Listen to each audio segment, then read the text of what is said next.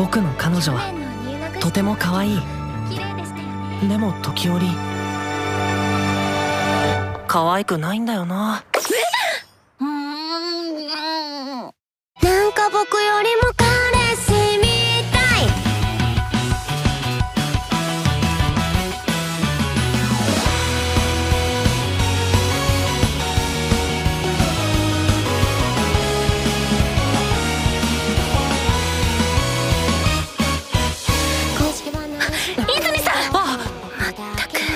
あんまり困らせないで。また心配かけちゃったな。情けない。泉今日帰りどっか寄らね。これはチャンスだよみっちゃん。式守気合だ気合応援してます神谷先輩。ありがとう。泉さんは。ずっと私のそばにいればいい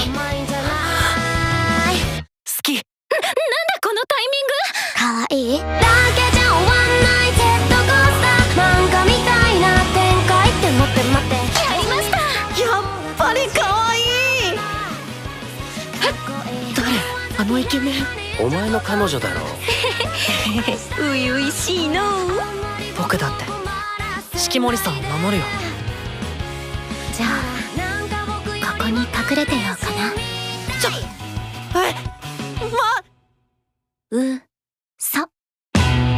愛いだけじゃない式守さん。冗談ですよ。ん